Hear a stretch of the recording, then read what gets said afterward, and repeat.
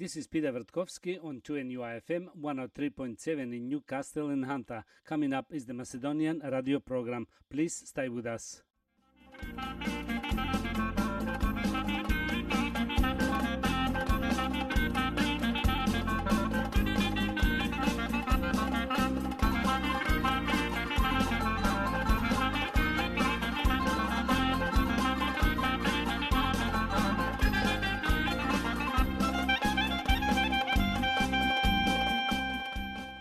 Добро вечер, почитувани слушатели. Бидете поздравени од мене Пеце Вртковски и на сите ви посакувам топла, убава заедничка вечер со вашите најблиски во придужба на нашата македонска радиопрограма. Вечерва ќе имате прилика да слушнете најнови соопштенија од Ньюкастел и околината, поважни вести од Македонија и вашите желби и честитки. За сите горе наведени редоследни програми, со вас е вашиот водител и уредник на македонската радиопрограма Пеце Вртковски.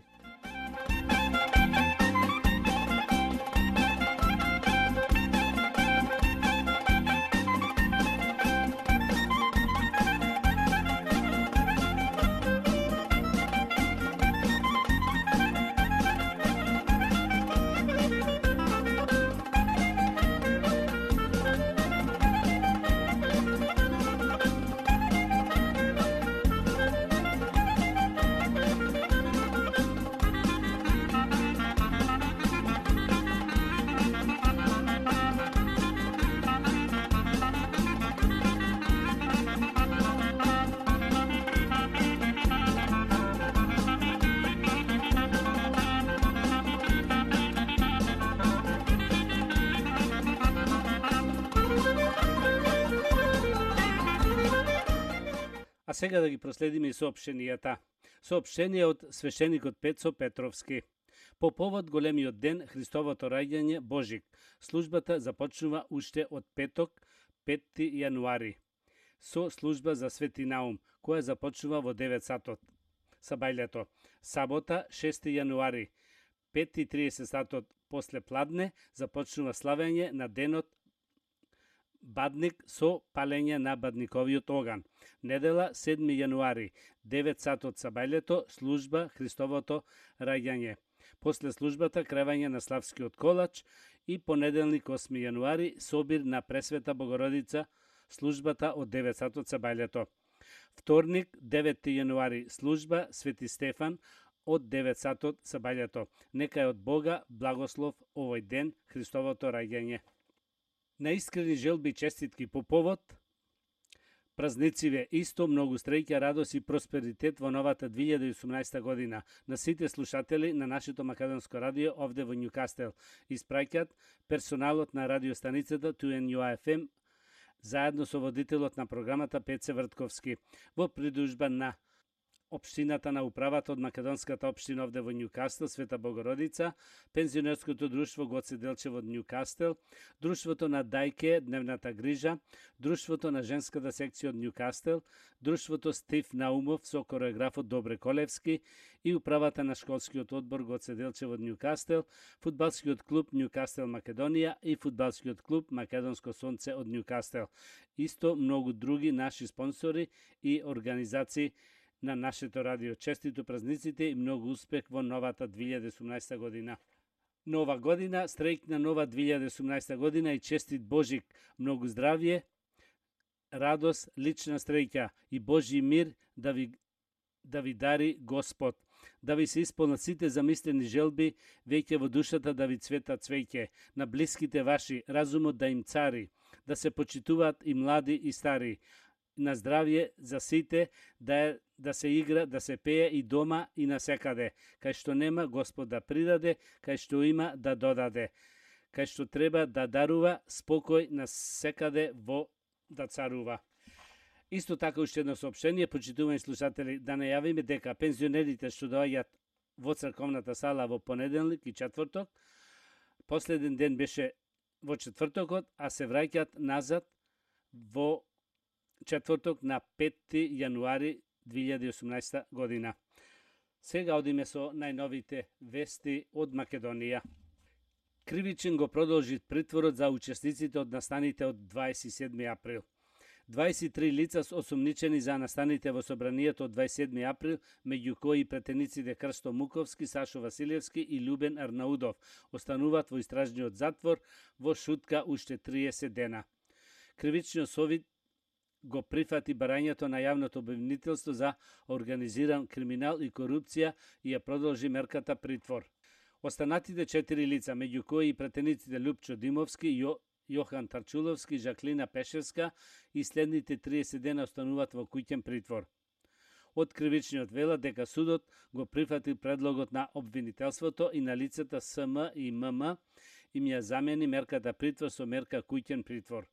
Против овие решења е дозволена жалба до апелискиот суд во рок од 48 часа со прием на решенијата. Пратеничката група ВМРО ДПМН не донесе одлука за враќање во собранието на координацијата одржана утрово. Останува прашање како одлуката да за притворите за 27 април ќе влијае врз напорите за враќање на опозицијата во институциите – Премиерот Заев денеска рече дека ако ВМРО ДПМН утре не се појави на седницата за претенички прашања, тој нема намера да им одговори на претениците од владеачкото мнозинство. Иванов ја додели наградата за најуспешно архитектонско дело во 2017 година. Индустријскиот објект за полнење на и флаширање на природна вода Маја во село Гари на архитектот Александар Карангелов е најуспешното архитектонско тело дело во 2017 година. Големата годишна награда што ја доделува Асоциацијата на архитекти на Македонија ја врачи председателот на Република Македонија Ѓорѓи Иванов, кој е покровител на манифестацијата. Уверен сум дека големата годишна награда, но и другите активности на Сојузот на архитекти ќе придонесат ќе придонесат повторно да го сватиме значењето и насушната потреба од простор, светлина и ред. Потребата од зданија померка на човекот, кои ќе бидат белек на нашето секојдневие, но и наследство за идните генерации, рече председателот Иванов на доделувањето на наградата што се одржа во музејот на град Скопје. Македонскиот председател упати порака до институциите и до целото македонско општество да се овозможи повеќе простор за архитектите. Тој подлече дека за тоа е секогаш потребен интензивен економски и технолошки развој, но и постојано збогатување на духовното и наградувањето на естетските критериуми. Дневниот вестник Нова Македонија денеска ќе ја додели наградата Личност на годината за 2015 година. Лаурети се Никола Маджиров, Благој Нацовски, Ленче Здравкин, Глигор Цветанов, Дуке Бојаджиев, Кристијан Данилов, Евген Поп Ацев и Кири Лазаров. Како прв дневен вестник, наедно врсник на државата Нова Македонија чувствува посебна обврска да ги врачува оние што несебично се жртвуваат и се ангажираат за добро состојбата на својот народ и за својата држава, велат од Нова Македонија. Награда се доделува од 2012-та и ја добиваат личности што обележале годината во областа на бизнисот, културата, политиката, уметноста, науката, образованието, спортот, обштествените и хуманитарните дејности. Награден фонд од 300.000 динари е предвиден за најуспешните училишни тимови кои ќе се вклучат во проектот Предизвик за млади истражувачи, кој за прв пат го реализира Фондот на иновации и технолошки развој заедно со Министерството за образование и кој денеска беше презентиран во Прилеп. Истражувачките трудови на учениците треба да бидат од областа на природните и техничките науки. Рокот за аплицирање се истражувањето трудови кои ќе традат 15 до 15 февруари, пошто специјалното формирална стручна комисија од МО и од ФИТР ќе ги оценува. Со овој проект опфатени се сите основни и средни училишта од цела земја. Владата го презентираше финални, финалниот план за економски раст. Вкупно 50 милиони евра ќе одвои државата следната година за економски развој. Дополнително за активни мерки за вработување се обезбедени 16 милиони. Ова го предвидува новиот план за економски раст на владата. Премиерот Заев ги повика инвеститорите да се охрабрат и да ги реализираат бизнис плановите. Со предвидените мерки државата еднакво ќе се поддржи, ќе ги поддржи домашните и странските фирми и ќе врши поврат на инвестициите од и до 300 од 100. 30 од 100, се извинува. Вице-премиерот Ангушев уверува дека сите забелешки предлози од експертите и бизнисмените се вградени во економскиот план. Очекува дека програмата ќе биде посебно актив, ак, атрактивна за македонските селеници во диаспората. За мерките во програмата можат да аплицираат само компании кои имат добри резултати во работењето. Односно, фирмата во последната година мора да има приход поголем од просекот во последните три години и да нема намалување на бројот на вработени за истиот период. Заев вели никој што работи честно нема да биде избркан. Премиерот Зоран Заев вели дека владата нема намера да отпушта работници и оти никој кој честно работи и си ја заработува платата нема да биде избркан, но како што посочи, сите треба редовно да доаѓаат на работа. Тој, одговарајќи на новиранско прашање дали и зошто од работа во владата се отпуштат роми кои предходно биле вработени, рече дека има само предлози за откажани решенија. Најави дека ќе има средба со нив меѓу Нова година и Божик и оти ќе се обиде да им објасни дека согласно законот, ако никој не се појави на работа, три последувателни денови треба да добие отказ. Сега со овие предлози за отказ и решение повторно закажавме состанок меѓу Нова година и Божик. Јас ќе се видам со луѓето лично да им кажам дека ако земат плата мора да доаѓат на работа. Тоа се наши граѓани, јас не ги делам на македонци, роми, албанци, турци. Мора да доаѓат на работа и честно да се завршуваат работата за која граѓаните преку даноците ги плаќат, рече Заев. Додаде дека никој што ќе што ќе сака да работи честно и да се сработува својата работа за која македонските граѓани го плаќат, нема да биде избркан. Почитувани слушатели, продолжуваме со вашите желби и честитки. Со песната Ајде сите на нозе. Насаканиот и многу поштован син и брат Даниел Вртковски. Со наискрени желби и честитки му очеститаме 21-иот роден ден, исто му посакуваме многу здравје, голема стреќа и просперитет во работата и студиите. Овие убави искрени желби од се срце се посакани од таткото Лупче, мајката Диана и милата сестра Моника Вртковски.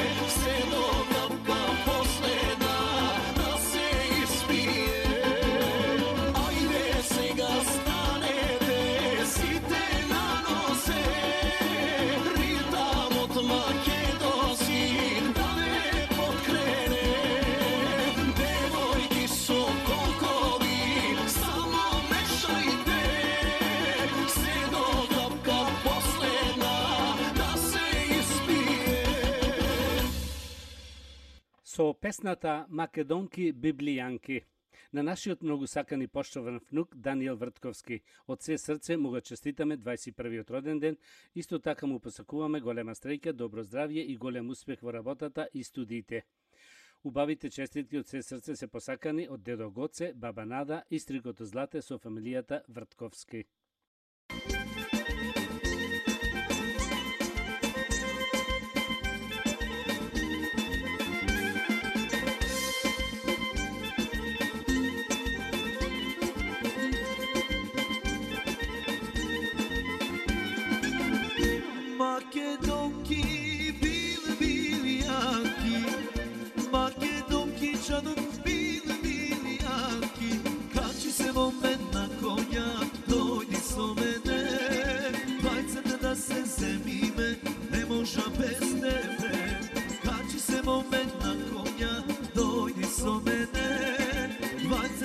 se zemime, ne možem bez tebe.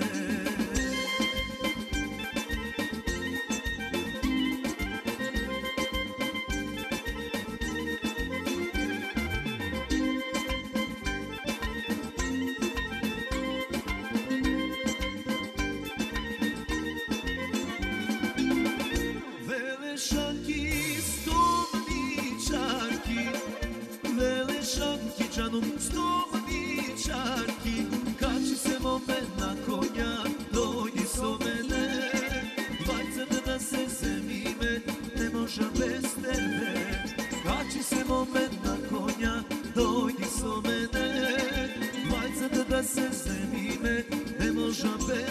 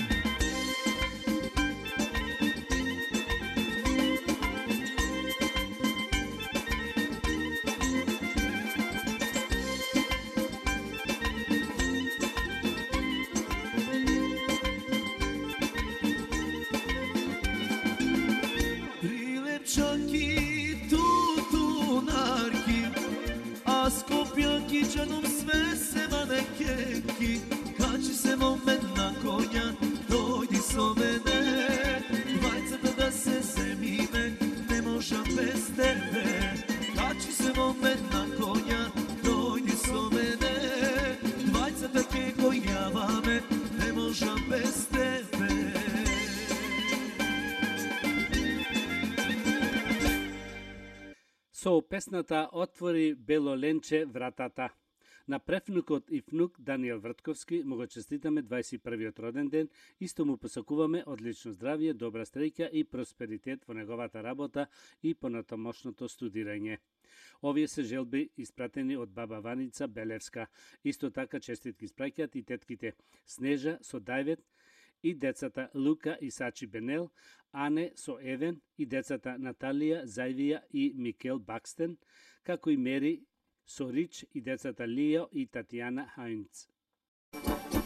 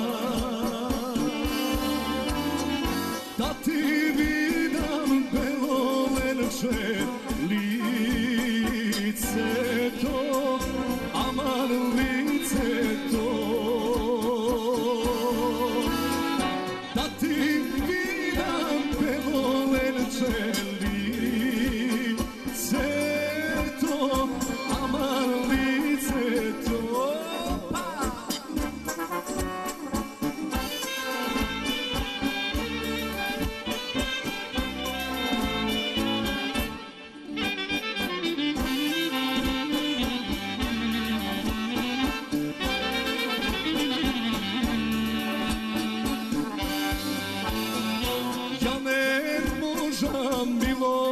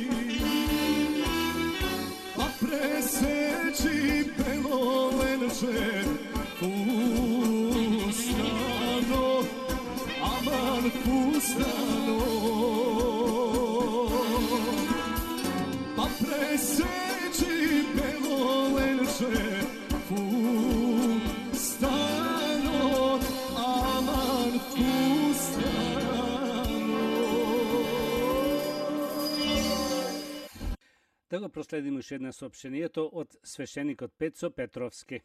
По повод големиот ден Христовото раѓање Божик, службата започнува уште од петок, 5 јануари, со служба за Свети Наум, која започнува од 9 сатот сабајлето.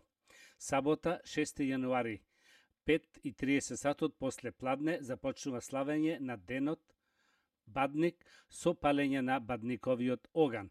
Недела 7 јануари, 9 часот сабајлето, служба Христовото раѓање. После службата кревање на Славскиот колач и понеделник 8 јануари собир на Пресвета Богородица службата од 9 сатот сабајлето. Вторник 9 јануари служба Свети Стефан од 9 сатот сабајлето. Нека е од Бога благословен денот Христовото раѓање.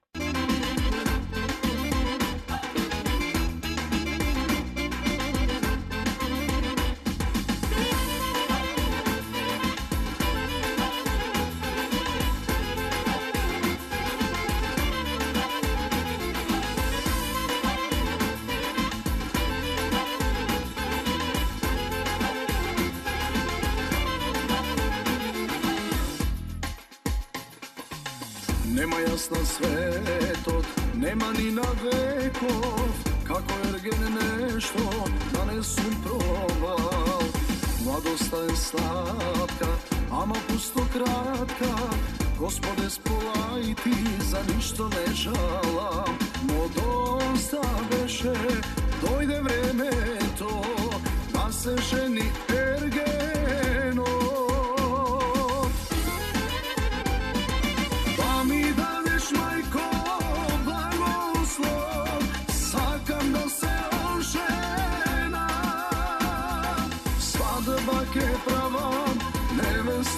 domesam, nevenstana ljubava.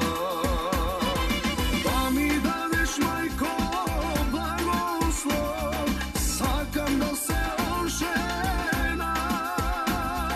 Svadba ke pravam, nevensta ke donesam, nevenstana ljubava.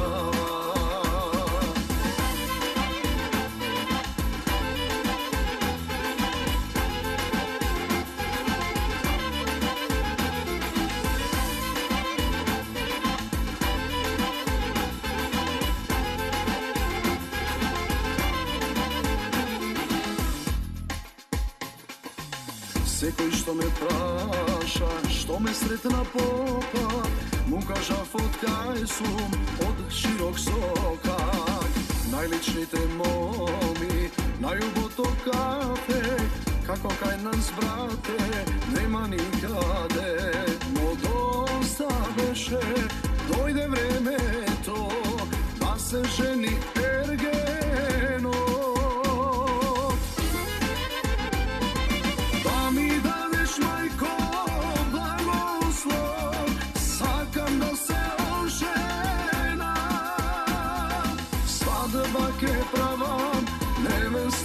donesam, ne sana ljubava.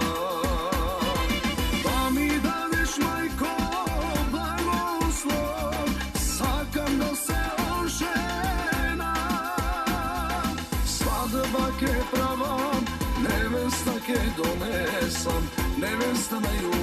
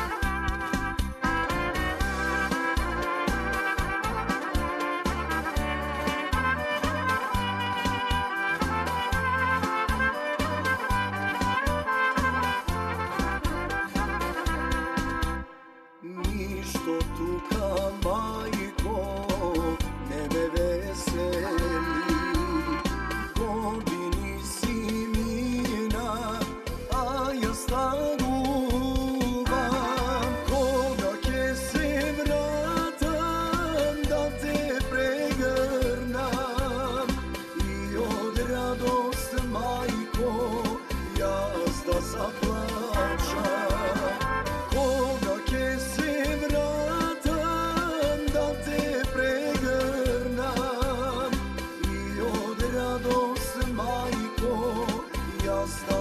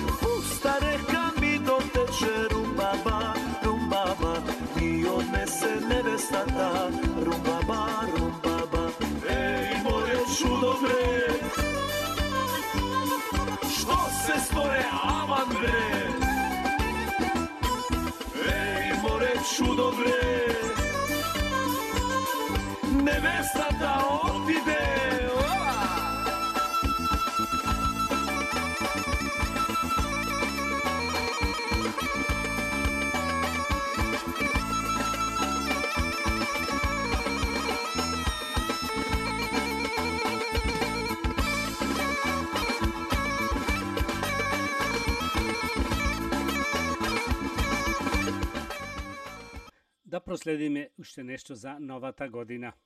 Во новата година имајте повеќе време за себе и своите блиски. Бидете исполнети со љубов и здравје и имајте прекрасни доживувања. Нека е стрекна и берикетна.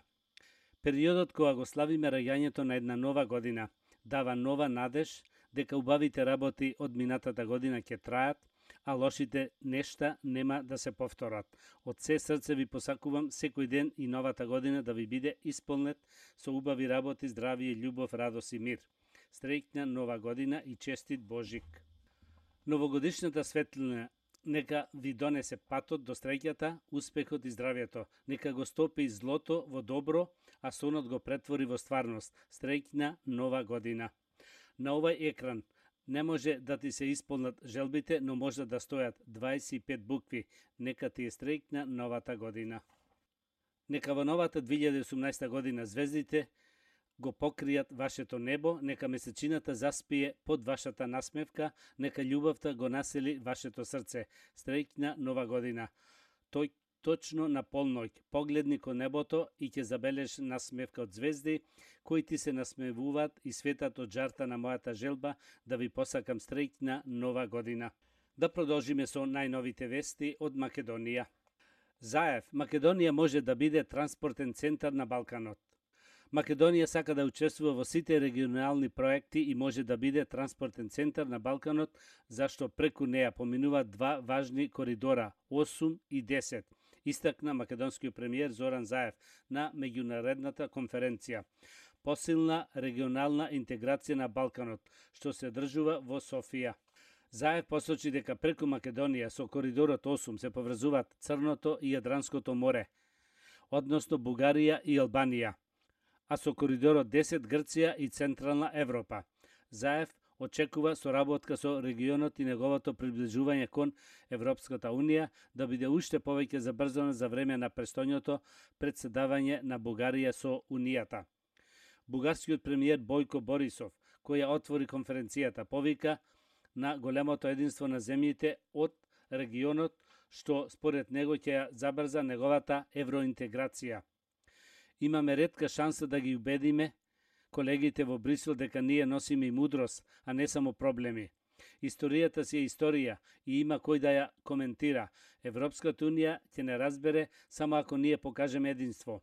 Европа си има своји проблеми со Брекзит и не и се потребни нови.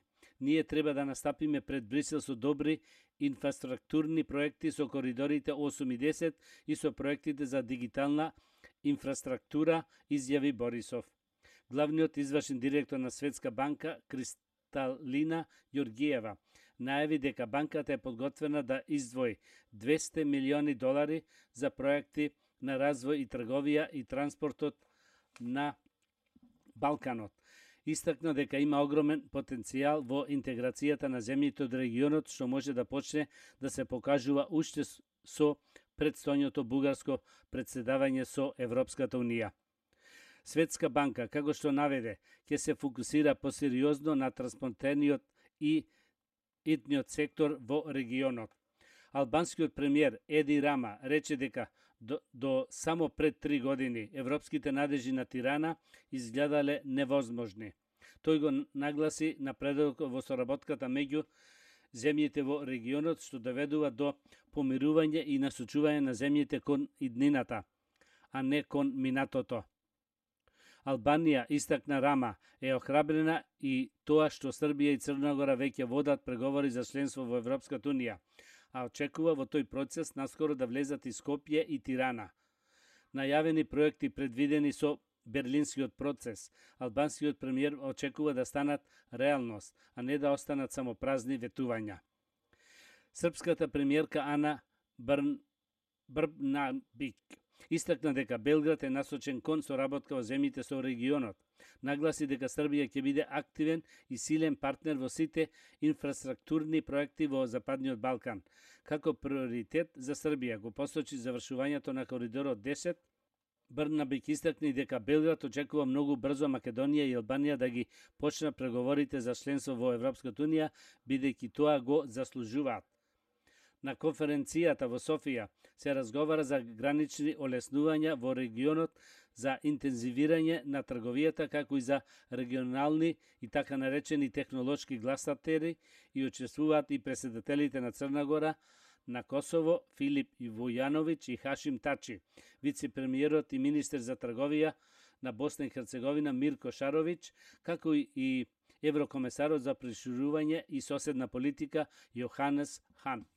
Македонија има потенцијал да го издигне туризмот на, на ниво какво што го има во Словенија. Вела туристичките работници кои годинава за прв пат организира туристичка берза.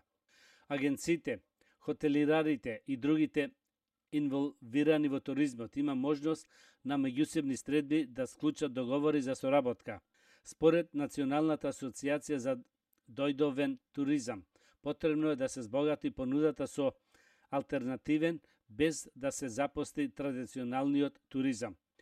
Македонија ги поседува сите ресурси за да биде на нивото на Словенија, чиј туризмам учествува со 13% во бруто домашниот производ.